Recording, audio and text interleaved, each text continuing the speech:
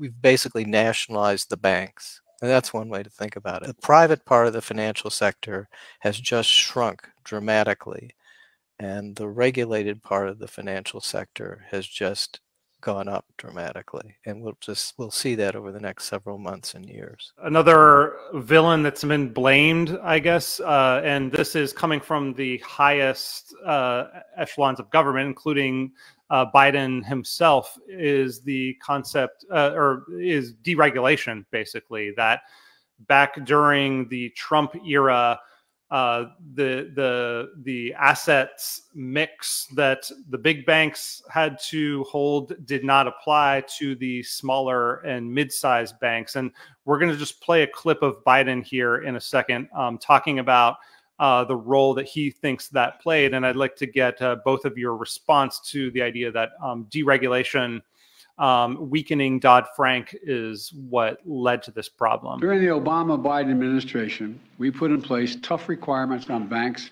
like Silicon Valley Bank and Signature Bank, including the Dodd Frank law to make sure that the crisis we saw in 2008 would not happen again. Unfortunately, the last administration rolled back some of these requirements. I'm going to ask Congress and the banking regulators to strengthen the rules for banks to make it less likely this kind of bank failure would happen again. Under Dodd Frank, banks that had over $50 billion in assets were regulated differently than banks that had under $50 billion. And he he mentions Trump, and everyone mentions Trump, but actually it was a bipartisan decision in Congress because Congress was bribed. You know, you know, both parties were bribed uh, to exam to raise that from 50 billion to 250 billion. Mm-hmm. Having said that, we don't know whether uh, regulating them differently would have produced a different result. That's what no one has filled in. And mm. I don't see any reason why that's true. There was nothing, nothing to stop regulators from coming in and getting Silicon Valley Bank to change its behavior.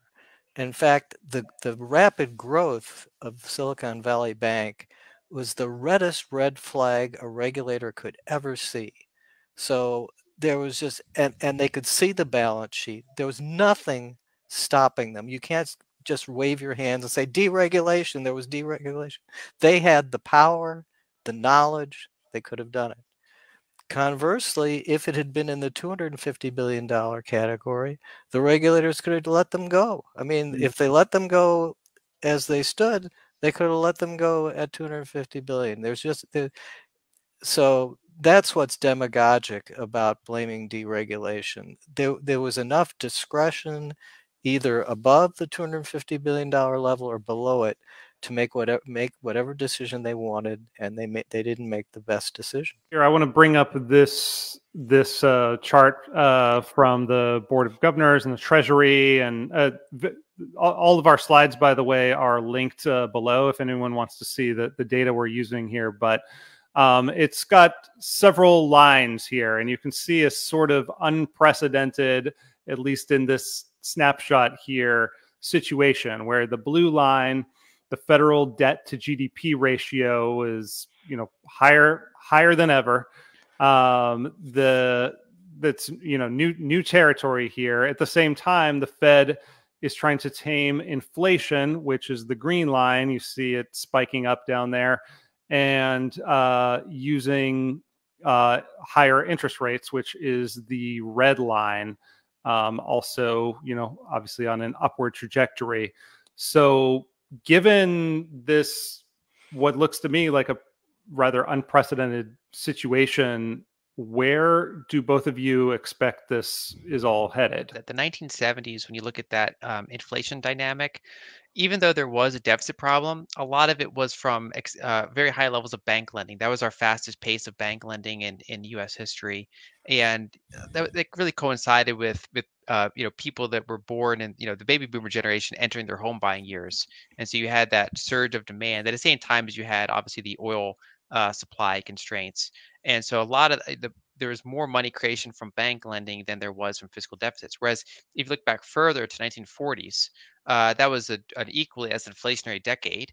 um, and there's very little bank lending, and it was almost entirely a fiscal-driven phenomenon. The, the basically massive deficits to fight the war were, were highly inflationary. Um, and the current environment we find ourselves in in the 2020s, in many ways, is more similar to the 1940s, which is the vast majority of the money creation and the inflation was not because of excessive bank lending. I mean, bank lending levels are pretty normal, and almost all of it was from unusually large fiscal deficits that we've not seen since World War II as a percentage of GDP. Hmm. And I also I don't I don't really see a realistic path to cutting that anytime soon because you have Social Security, Medicare, is, that's very popular programs. Um, uh, it, it's just it's it's you know kind of that third rail that that politicians don't want to touch. Um, we have military spending. You know, we have 750 foreign military bases, over 800 billion a year on that. But especially what's going on geopolitically, it's it's you know that, that's not likely to be cut anytime soon. Um, and also, then you have a lot of politicians that some of them do want to raise taxes, other ones don't. Uh, it seems like there's a, enough of a mix that it's it's taxes are unlikely to go up materially. And so I think that you know, we look at the 1970s, they because debt to GDP was so low, one of the things they were able to do was sharply raise rates to try to bring down bank lending, get the positive real rates, um, and that helped get inflation under control. Whereas 1940s, because you had over 100% debt to GDP, um, it was very hard to raise rates, and so instead they just kept rates low despite high inflation, and anyone holding dollars, bonds, uh, and things like that really got devalued on an ongoing basis.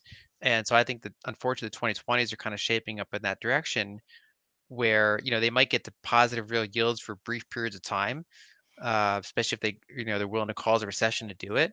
Um, but I think the majority of the decade probably is just going to be have a tough time getting inflation under control because I don't think they're going to get the deficits under control. Um, and I also don't think that interest rates are going to be high enough to compensate people for it. Have so a nice day. Yes, our closing message is hold on to your hats, folks. Hey, thanks for watching that excerpt from my conversation with Lyn Alden and Arnold Kling about the Silicon Valley Bank meltdown and what caused it, who's to blame, what to expect next for the US banking sector. Uh, you can watch the full conversation by clicking here or on the link in the description below and subscribe to Reason TV and watch these conversations live every Thursday at 1 p.m. Eastern.